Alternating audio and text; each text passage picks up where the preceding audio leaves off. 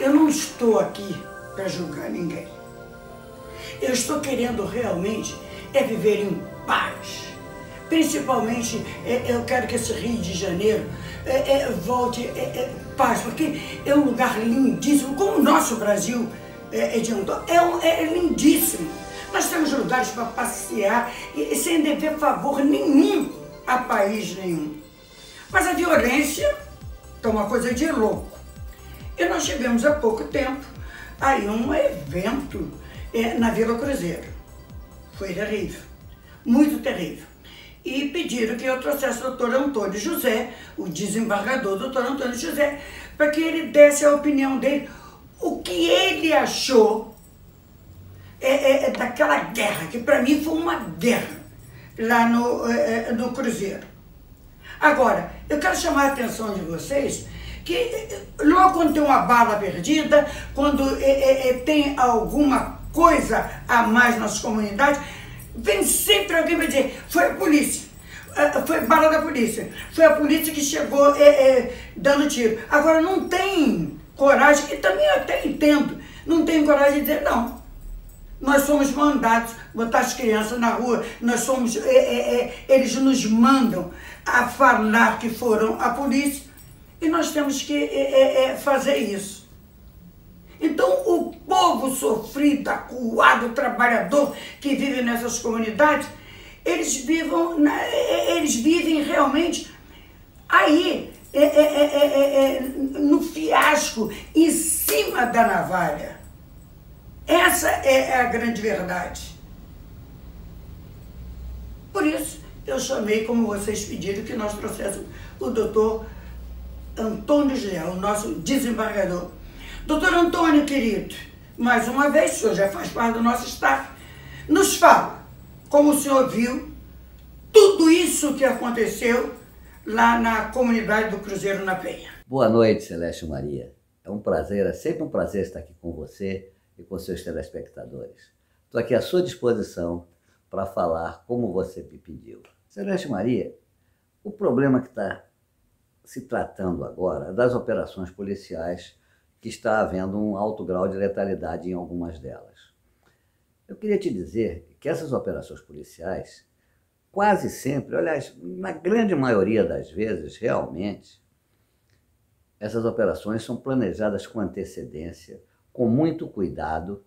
E nesse caso da Vila Cruzeiro, por exemplo, o AP2, o Serviço de Informação, já sabia que ali iria haver a reunião de alguns chefes de uma facção criminosa.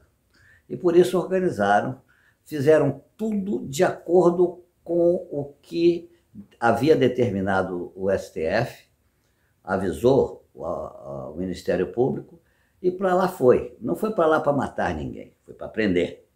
Só que, quando estavam adentrando a comunidade, foram receber uma saraivada de balas.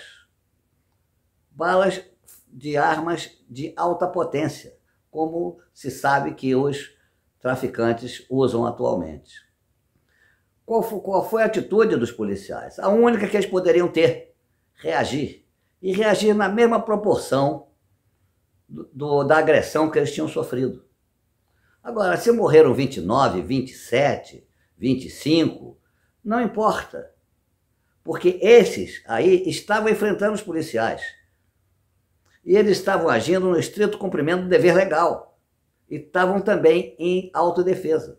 Não se pode dizer, como se procura todo mundo dizer a toda hora, que toda vez que há uma bala perdida, foi uma bala saída da arma de um policial. A grande maioria das vezes, e essa é que é a verdade que a imprensa não diz, essas balas perdidas partem dos traficantes. Agora, virou moda nas, nas comunidades dizer que a bala perdida veio da polícia. Isso não é verdade, gente. Acreditem no que eu estou dizendo. Pode haver alguma bala perdida da polícia? Pode haver, sim mas com certeza a grande maioria partiu dos marginais da lei. Nós temos que lembrar ainda um outro detalhe, Celeste.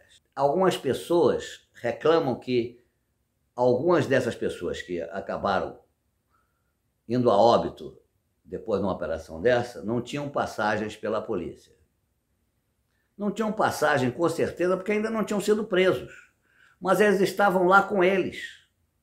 E talvez ali eles seriam presos, se não tivessem reagido. E acabaram morrendo. Vamos acabar de dizer que traficante é trabalhador. Trabalhador é trabalhador, traficante é traficante. Marginal da lei é marginal da lei.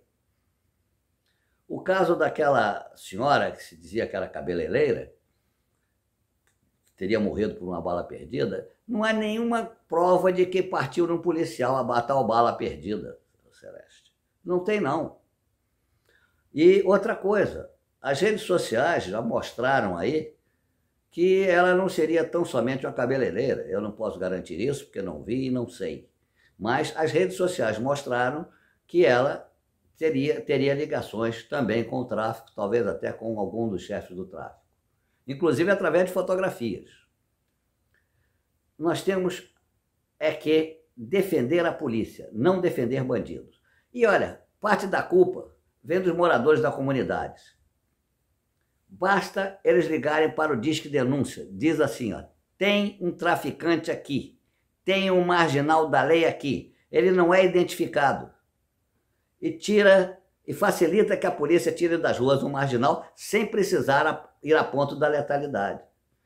Mas eles parecem que estão dominados lá em cima e mesmo sabendo que não serão identificados, não fazem isso.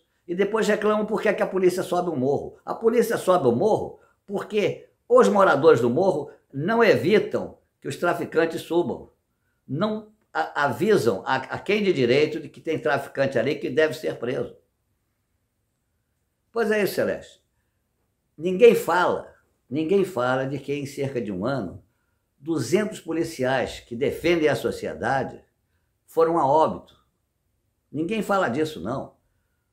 A imprensa só tem olhos e só tem câmeras para dizer que os bandidos são coitadinhos. Vamos defender os policiais. Celeste? Era isso que eu tinha a contar sobre o assunto. Espero que você tenha gostado. Um beijo no seu coração e sempre à sua disposição.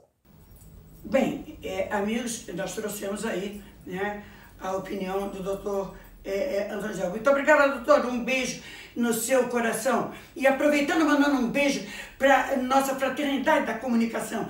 Uma fraternidade gostosa, aonde todos é, é, é, é sorriem, todas é, querem muita paz, temos muita, mas muita harmonia, é, realmente. Lá nós estamos o tempo todo para nos confraternizarmos. Então, todo primeiro, toda primeira sexta-feira do mês, nós estamos juntos no Novo Hotel Praia de Botafogo.